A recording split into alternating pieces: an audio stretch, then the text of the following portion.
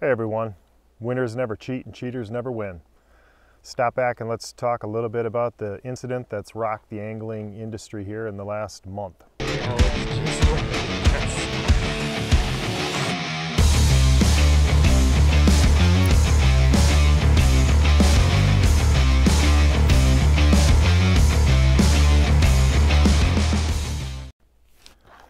Hey, so by now everybody's heard about the Lake Erie walleye tournament cheating situation that occurred here recently, and I think it's disturbed a lot of, for sure, a lot of tournament anglers. Probably disturbed a lot of uh, environmental conservationists. Uh, it's been in social media. It's been everywhere. It's kind of uh, been one of those things that you fear is going to give tournament fishing a black eye. I've seen a lot of social media on it. A lot of folks are talking about their reaction to it. Um, of course, my reaction was I was, you know, upset and disturbed by that level of uh, cheating and, and, the complete and total lack of integrity that comes along with it. I think that's been well documented, but uh, this isn't something new. You know, this has been going on for a long time. It's something you have to deal with in competitions. I mean, we've seen it in professional sports. Uh, cheating at different levels, whether it's performance enhancing drugs and in the tournament fishing world, it's trying to tip the balance in one way or another. And, and this was an egregious one. Uh, but like I said, it isn't new and I've had experience with it.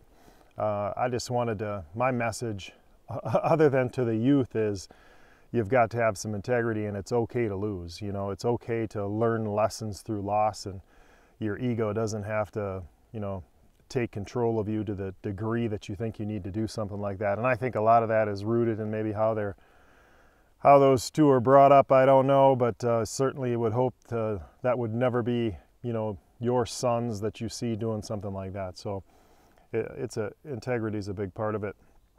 Uh, but yeah, it's nothing new. I was a tournament director. I appreciate the tournament directors. I think that's a point I wanted to get out was the tournament directors. I know so many of them that um, it is the utmost importance for them to have a fair competition. And you know they're sticklers for rules. They're uh, you know they're doing everything in their power to try to prevent something like that from happening.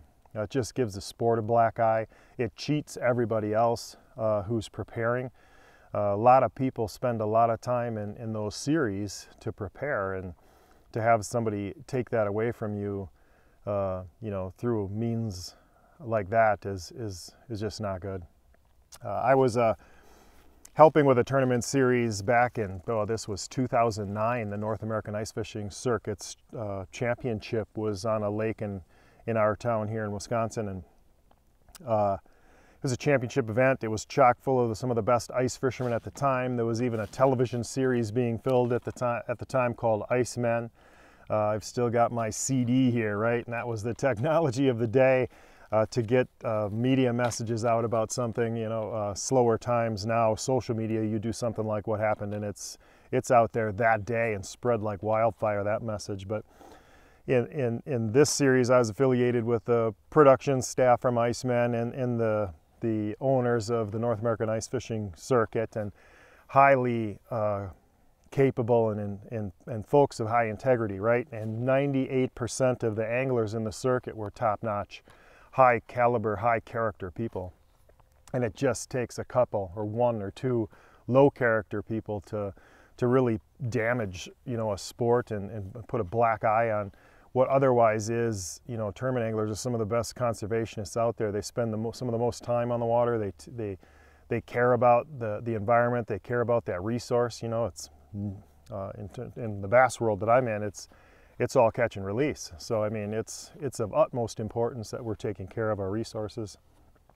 Uh, anyways, in, in, my experience, I was working with the circuit putting on this tournament. I was I was helping out the tournament director in, a, an administrative capacity, and and uh, some somebody one of the anglers came to to the tournament director and I during the during the pre-fishing stage and said they found something irregular on the ice and I've got a link in the description below to this episode of Icemen and I'll put a link to the timestamp in the video when this, this went down if you want to check it out. It was pretty interesting, uh, pretty upsetting that somebody would try to cheat in this manner, but it happened there too. There was, you know, I think $10,000 in, you know, uh, national championship rings and, and a lot of uh, adulation and, and notoriety that came with being the national champion and, and you know, uh, industry backing and sponsorships at the time were, were fairly substantial. And and so it was an important deal and it was an important uh, important deal for the folks in this Icemen series the, the, the, the guys on the tour. And I know it still is because the North American Ice Fishing Tour still exists and or North American Ice Fishing Circuit still exists and championship level fishing ice fishing even still exists. And uh, it happened. So anyways the the person turned in the information that they suspected something was irregular with a, some holes in an area off of the uh, what would maybe be considered the community holes. And sure enough, we went over and put a camera down and found out that there was a, you know, a European style fish uh, basket under the ice and it was hooked to a string and a stick and they were filling it in pre-fishing with fish and then they would you know their plan was to come and uh, you know shanty up or shack up over it and replace fish or whatever they were doing during the tournament. So we found it cameraed it covered it back up and then kind of you know laid in wait during the tournament for the people to come and sure enough they came. And by the before we could get to them they had holed up over it made whatever transfer they made and were off of it um, what we could see when we got there is that the fish, you know, one of the fish that they put back in was alive while the others were dead when we found them earlier. Uh, so it was clear that the transfer had been made, although we didn't see the transfer. And so even on the show, you'll see uh, we went through a scenario where, um, you know, we, we made the accusation, they denied the accusation. I think in a lot of tournament series now, they've got lie detector tests and official challenge procedures and whatnot for for that sort of thing. Uh, and I don't remember if whether or not there was that sort of a, a, you know provisions at that time in this circuit. I, I, believe there was, but I don't know the details of it. I don't know about the lie detector test. But I do know that we didn't see them actually do it. We saw them hole up over it. We knew what it looked like before they did it. We knew what it looked like after they did it, but we didn't actually see the physical transfer. So when they denied it, you know, we were kind of back to square one. Uh, you know, the competition was still going on. It was a two-day event, and it just so happened, as you'll see in the video clip, that they had broken another rule, pretty major rule from a partner standpoint in that tournament series at that time was the spacing you could be apart. And when, when they were fleeing the scene, one person fled faster than the other, and they they very much broke the spacing, partner spacing rule, and, and were disqualified. So the cheaters didn't win in that case, even though we didn't catch them actually red-handed doing the deed. Uh, but in fact, we're able to get them out of the tournament so they don't negatively affect others. And, and that's what cheating really does. Um, I know that these two characters from Ohio, they're indicted. You know, a grand jury has indicted them, which is charging them uh, of that those crimes. I think they're a fifth degree felony offense, and I think there's a you know a natural resources offense in there for the fillets that they had, uh, unlawful possession of a uh, game or whatever related to those fillets. But it'll be interesting to see how it pans out. I think they can get up to a year in jail and $2,500 in fines with that fifth degree felony. But you know, it, it, um, the jail time obviously would be damaging to them individually. The fines aren't very great considering the, the time and effort and money that others spent in those tournament series pursuing that goal. And to kind of be cheated out of that uh, is, you know, is kind of crazy. And whether or not they've, they, it sounds like they're resolving that tournament's situation in terms of first place and so on. And they've confiscated their boat and uh, maybe even taking steps to rectify previous tournaments. I don't know, but you know, you can't catch them all, like in the case of, uh, that I was involved in with the North American Ice Fishing Circuit at that time in 2009. You know, uh, we didn't catch them exactly red-handed doing it, you know, stuffing the lead in the fish, or maybe forensically they can unwind that with the charges and the, the, the, the subsequent trial that they'll go through with those charges or whatever if they don't plea. But uh, in our case, we got them out, uh, so you know, we felt good that they weren't taking money from people, but it was still a, you know, it cast a, it casts a shadow on, on a otherwise awesome event. And uh, like I said before, it, it, it you know, uh, that kind of media about a sport you like, getting out there like that is, you know, it's not good for the sport. So it just, just you know, casts a bad, bad shadow on it. I think most people understand that it's those people and not the sport.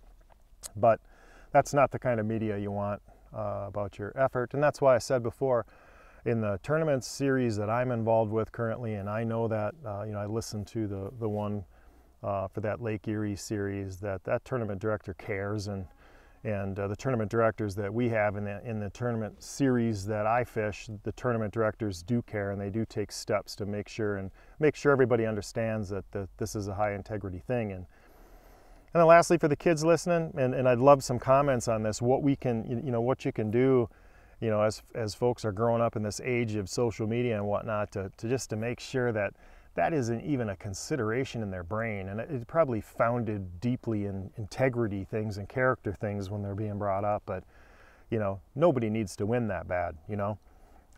Uh, my son and I love to win tournaments. We love to, to place in them and do well. And, and, you know, it's part of the love of the outdoors mixed with the competition and the competitive spirit. That's all part of it. But uh, most of our learning is, is, is uh, happens when we're taking a beating not necessarily celebrating how good we did or how lucky we were. So to those uh, youngsters that might be listening, you know, that's where you learn. So don't let your ego get in the way. Don't ever put yourself in a position where you're even thinking about that sort of a thing uh, because something is, is definitely tripped up along the way. So just my thoughts on it. I know a lot of folks are, are talking about it right now. I wanted to give my two cents and say that it's been around. You know, I've been fishing for a long, long time now and here this incident was in 2009, all those years ago, uh, at a major event. Things were happening as well. So uh, interested in your comments, interested in you know your thoughts about uh, things that we can do to keep shedding a good light on it and uh, and, and maybe uh, help folks understand that our sport is good and that this was a you know an isolated incident. Yeah, so that's my two cents on it. I wanted to weigh in on it. I know a lot of folks have weighed in on it, and there maybe some are even getting tired of hearing about it. But I think that it, it riled up the tournament world and the fishing world enough that folks, you know, it's good to talk about uh, integrity and issues like that, and, and kind of make sure folks understand, especially our youngsters, understand that that uh, it's okay to to lose in a tournament, and you don't always have to be the winner. And um, you know that's a those are low character issues and they have serious consequences nowadays. You know you think about the documentation of the uh, the what I was talking about is on a television show that's on a CD that's in a YouTube video now that doesn't have a lot of views. The consequences for that uh, uh, Ohio incident on Lake Erie are significant and instant. And so uh, you know you got to take the high road. Thanks for watching. We'll see you guys next time on the water